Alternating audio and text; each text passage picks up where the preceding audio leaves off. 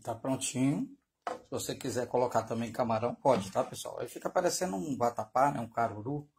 Sei lá, não entendo muito de comida baiana, mas fica bem gostoso, ó. Nosso arroz já tá prontinho. E tá aqui o nosso creme de batata baroa com frango. Gostou? Não deixe de dar seu like se inscreva no canal. Já botei aqui só o alho, como se fosse um feijão, né? Ele já tá super temperado, mas a gente vai retemperar para ficar bem gostoso, tá? Então aqui já tá as batata baroa. Com um pouquinho do líquido a gente vai bater para ficar esse creme bem gostoso.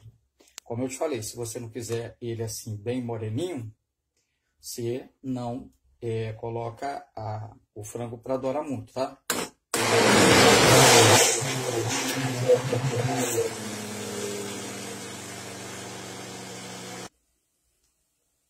Então, o alho já tá aqui, moreninho, né? A gente vai jogar um pouco desse creme aqui. Olha como é que ficou esse creme, pessoal. Olha isso. E o franguinho tá aqui, ó.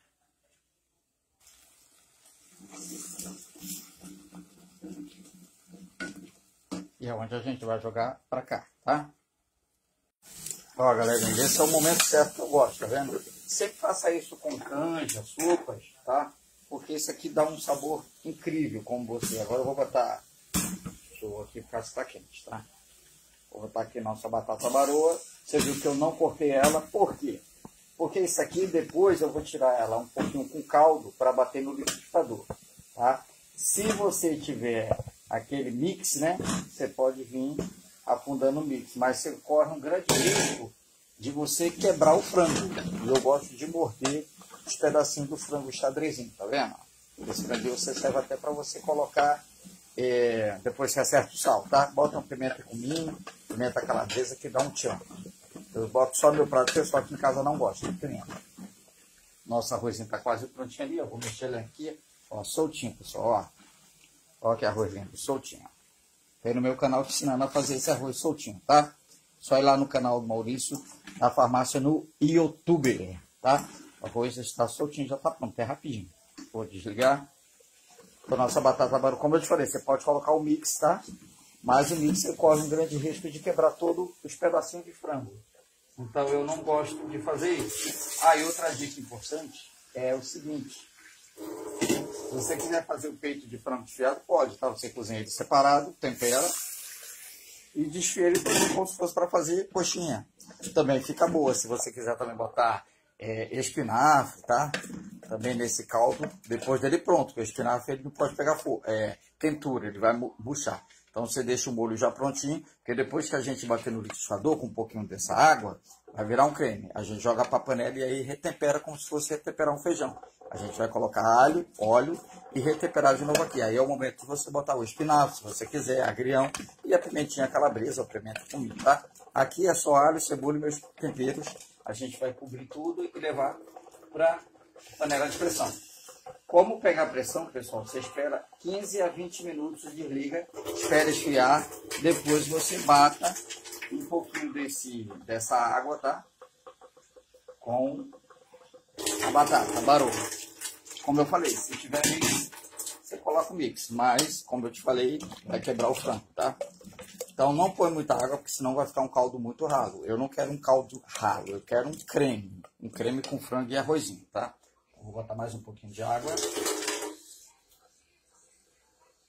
Se você quiser um creme de batata baroa clarinho, você pode depois colocar uma latinha de creme de leite, tá?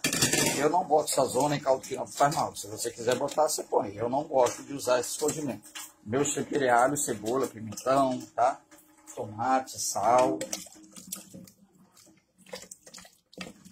Então, ela já vai para pressão. Se você quiser aquele caldinho branquinho, então você não dore bastante o frango. Eu gosto assim mais escuro, tá? Agora vai para pressão. Como estiver pronto, eu já mostro vocês já refogando. O processo de bater no liquidificador, vou mostrar também, tá? Porque senão o vídeo vai ficar muito grande. Ali a cebola já está douradinha.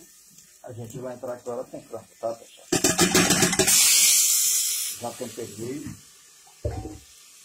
A gente vai deixar ele pegar bem aqui, quando ele estiver bem moreninho. Mas a gente vai colocar as nossas batata baroa, que eu estou descascando aqui, tá? Aqui tem mais ou menos um quilo e meio. Quando colocar água, bota cobrindo um pouquinho a batata, para o seu creme não ficar muito ralo, tá? Senão o seu creme vai ficar muito ralo.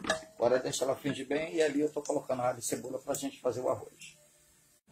E fala galerinha, Maurício da farmácia também. Mas chefe, né? hoje eu vou te ensinar a fazer um creme de batata baroa com frango, tá? Frango e lógico, um arrozinho para acompanhar, né? Um arroz branquinho soltinho.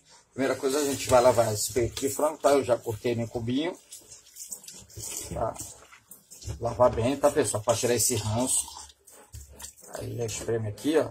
E aí eu vou temperar ele depois só com essas especiarias que eu já te ensinei no meu canal. São vários temperos, tá? Vou colocar aqui vinagre. Tá? Eu falo para vocês que vinagre sempre é cancerígeno, né? Mas esse aqui é o vinagre de fruta de maçã sem aditivo, sem conservante, tá?